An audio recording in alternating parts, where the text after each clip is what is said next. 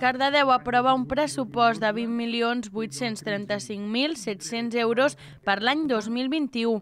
El ple de l'Ajuntament de Cardedeu ha aprovat inicialment el pressupost general de la corporació de l'any 2021 amb 9 vots a favor, 5 en contra i 3 abstencions.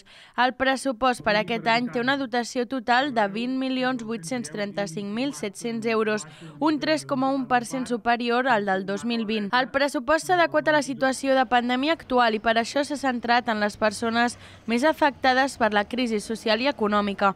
En aquest sentit, el pressupost es modificarà al llarg de l'any en el cas que fos necessari ampliar la dotació destinada als serveis socials. En aquest sentit, el pressupost inclou un nou pla d'ajuts i la possibilitat de posar en marxa un sistema de microcrèdits per a petites empreses, professionals i autònoms. Mm, a nosotros nos parece que en una situación como la que estamos viviendo, lo que espera la ciudadanía de nosotros es que bueno, pues eh, la, situación que se deriva de la COVID, que es de, emergencia, de emergencia económica y social, eh, ocupe el punto principal ¿no? en la definición de los, presupuestos del, próximo año. ¿no? Y, y, la sensación ante estos presupuestos es que siguen la dinámica ordinaria, inercial, eh, con matices, ¿no? I con esta tendencia a autofelicitarnos por lo bien que lo hacemos todo. Amb totes les reunions informatives que hem fet d'àrea eh, d'alcaldia per treballar els pressupostos, així com també la Comissió Informativa d'Àrea d'Acció Social i Habitatge, no he sentit cap proposta concreta més enllà de la línia de fa molts mesos del senyor Ciudadanos respecte a que s'ha de donar suport a l'hostaleria i al comerç i que evidentment hi podem estar d'acord i hi hem estat d'acord i ho hem demostrat amb el pla d'acció amb el pla eh, social que vam tirar endavant amb el, amb el treball de tots els grups de l'oposició, però el que em sorprèn és que potser qui està agafat a la cadira en el seu discurs continuista, dispers i no concret és vostè. Pel que fa als ingressos, la previsió del pressupost per al 2021 té en compte la previsible reducció de l'activitat immobiliària i en concret dels ingressos per plusvàlues municipals i per l'impost de construccions i obres. En amb dos casos, la reducció és del 66% respecte al pressupost actual. El nivell d'impostos directes per habitant queda enguany en 421 euros, un 5% menys que l'any passat, que era de 440 euros. Quan a les despeses enguany any baixen lleugerament les despeses corrents i també el capítol de personal, que representa un 33%.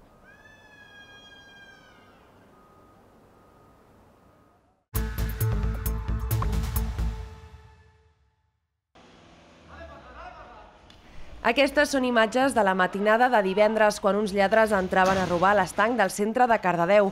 Al contrari del que pot semblar, en aquests moments els lladres intentaven sortir de l'interior de la botiga, ja que se'ls hi va baixar la persiana mentre robaven. Com veuen, van enclastar un cotxe contra la persiana per ajudar a sortir a les persones que estaven a l'interior. Els lladres, però, tot i que van accedir a la botiga i van aconseguir escapar, no van poder accedir al magatzem. Aquest, però, no ha estat l'únic comerç del poble que ha patit un robatori aquesta setmana. La perruqueria Duo del carrer Verge del Pilar també hi van entrar i es van emportar els diners de la caixa i també la caixa, que van trobar la mateixa matinada a prop del Tarambana. Això va ser el que va donar l'alerta del robatori. A més, també es van emportar diners que hi havia al despatx, a més de productes. El forn de pa de la Fleca Vella, de la carretera de Cànoves, també va patir un robatori aquesta setmana. Van destrossar la caixa registradora i se la van emportar sencera. Aquesta onada de robatoris posa en alerta als veïns i comerciants del municipi.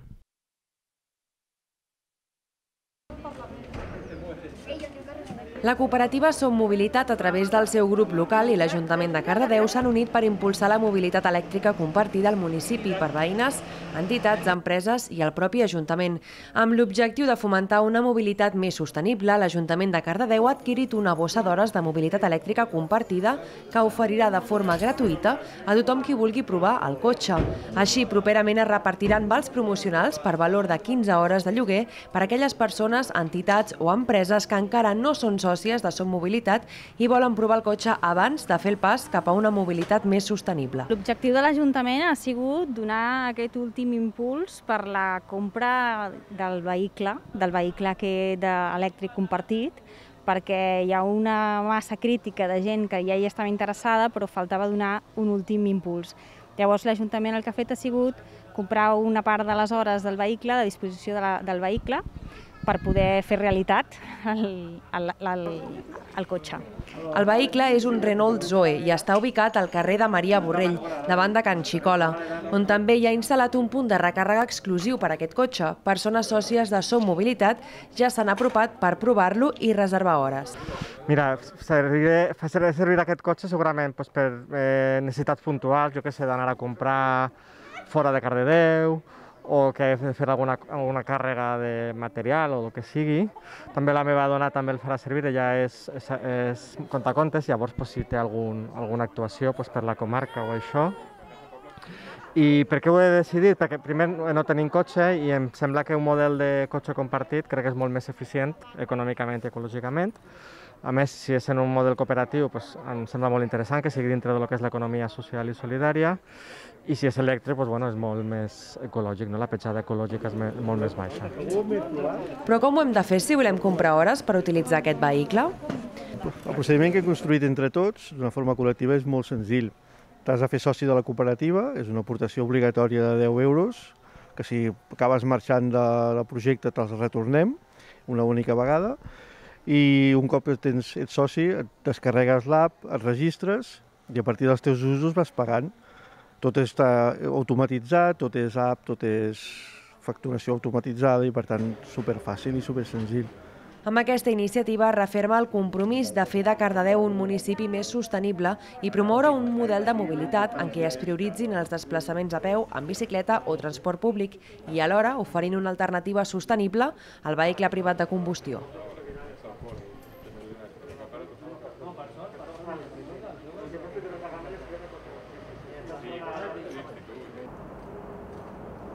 L'Ajuntament de Cardedeu va començar al març unes obres al Poble Sec, al carrer del Pi, per adaptar les voreres a la normativa vigent perquè una família amb un membre amb mobilitat reduïda no podia accedir a la parada del bus amb normalitat.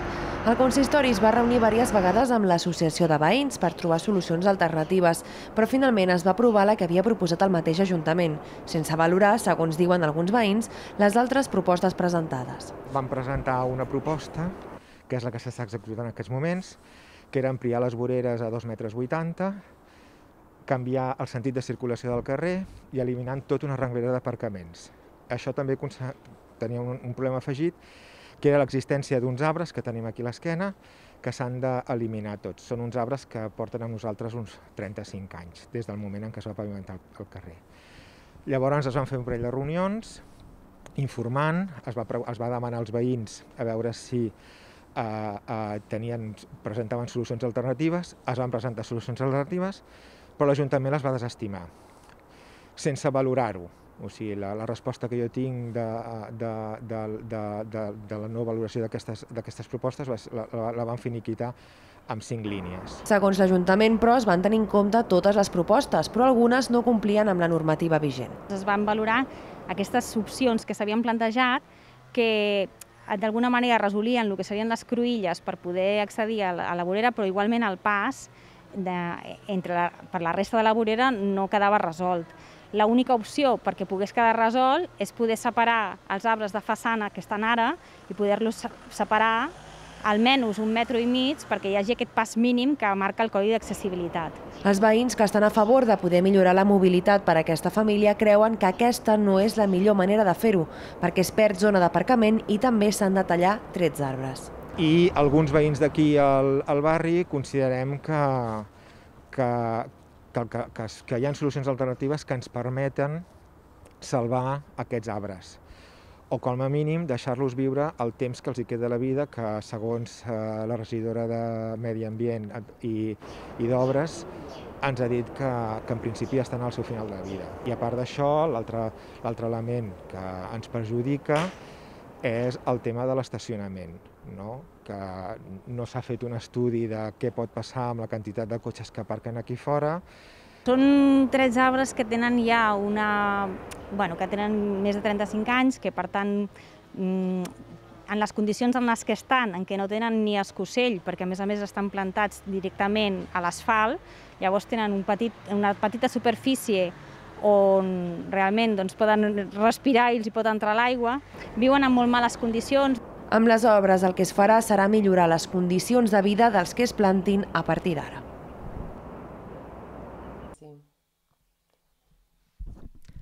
El barri de Bellavista quedarà connectat a la xarxa de carrils bici del municipi.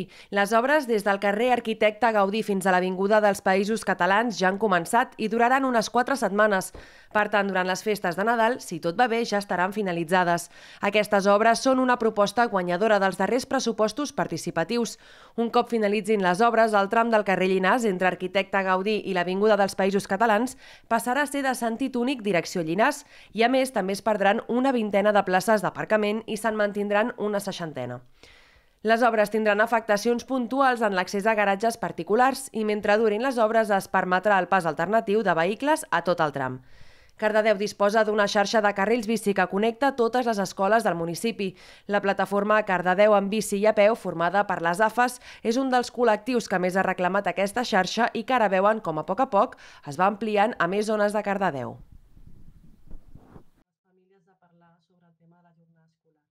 Parlem de l'horari. És la comissió de la FA de Manent que va iniciar una sèrie de trobades amb professorat, famílies i ens públics per visualitzar la realitat actual dels horaris escolars a Cardedeu i a l'escola per poder plantejar un diàleg on tothom pogués participar i aportar idees de millora. Com tot, amb la Covid va quedar frenat i ara via Zoom han reprès aquestes xerrades. En aquest cas els hi tocava parlar de la jornada contínua, on l'horari escolar es concentra en una franja temporal de matí o tarda. Per la jornada presencial comptaven amb la participació del Joan Sunyer, president de l'AFA Can Fabra Escola de Barcelona, que fa 9 anys que treballa amb jornada continuada, la prova pilot d'aquest horari. En el format via Meet han comptat també amb en Xavier Díez, doctor en Història Contemporània i membre del Consell Escolar de Catalunya, qui va fer presents els arguments per modular l'horari cap a la jornada contínua basant-se en els casos d'altres comunitats autònomes i països europeus. Cap comunitat autònoma o pràcticament cap estat europeu s'ha fet enrere. Diguem, una vegada t'acostumes a una cosa que veus que, que funciona, no vols tornar enrere, que és el que ha passat aquí. I aquest és un dels arguments que jo crec que fa més pànic al, al propi departament perquè sap perfectament que a partir del moment en què obri l'aixeta diguem, hi haurà una estampida. L'any 2016, l'Ajuntament de Cardedeu va impulsar accions puntuals per fomentar aquests hàbits, com el d'avançar l'hora dels espectacles al Teatre Auditori o passar el ple a les 4 de la tarda, una mesura que no s'ha complert, però sí que s'ha passat de les 7 a les 6. Cardedeu és un dels municipis impulsors del projecte de reforma horària en molts àmbits. Ara el que s'està treballant és en el de l'educació des de l'AFA de l'Escola Campmanent. Amb aquesta reforma horària es pretén poder gaudir de més llibertat per la gestió del nostre temps. Qualsevol persona que vulgui donar suport a la iniciativa o saber-ne més pot contactar amb parlemdelhorari.gmail.com.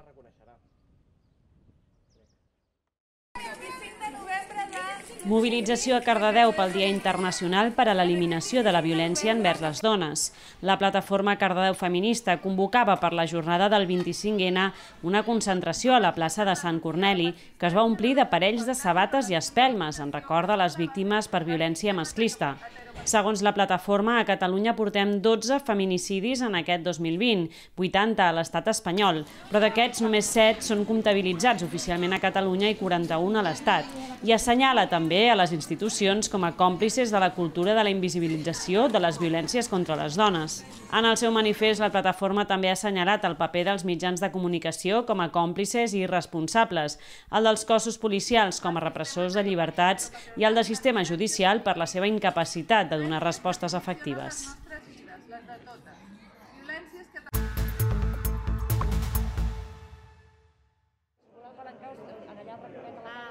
Més quilòmetre zero que mai els vermuts literaris del Taramban amb la periodista Clara Martínez Clavell i amb la llibretera del compàs Àngel Soler.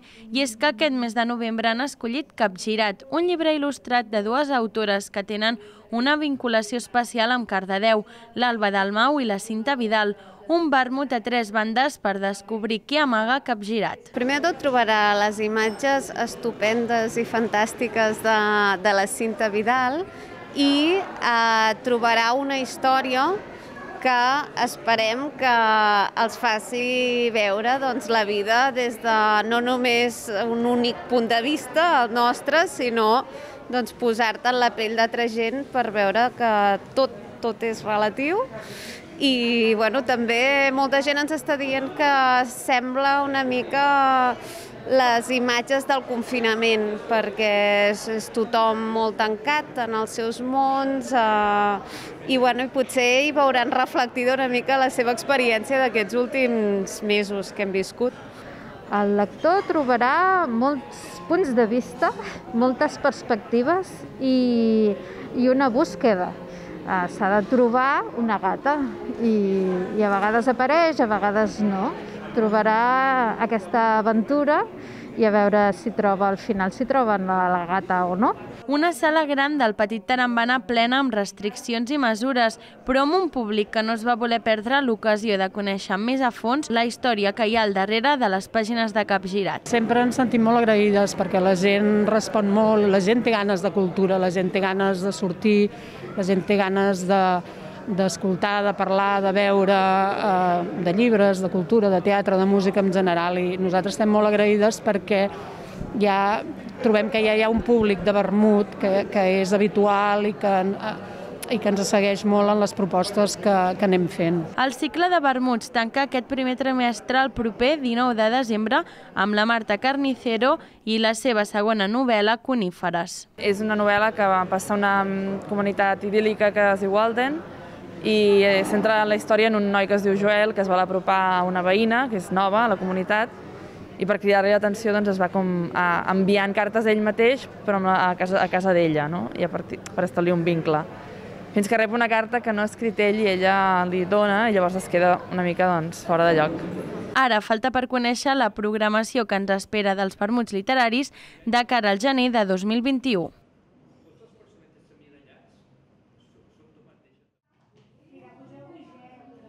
A una setmana d'estrenar La Calma, el tercer cicle de cinema esportiu de Cardedeu, es reobrien els cinemes i els teatres per tornar a engegar la cultura. El cicle s'ha pogut desenvolupar dins de la nova normalitat, amb un 50% de l'aforament, mascareta, distància i rentat de mans. Aquest any la convidada ha estat la Cèlia Fernández, això sí per videoconferència.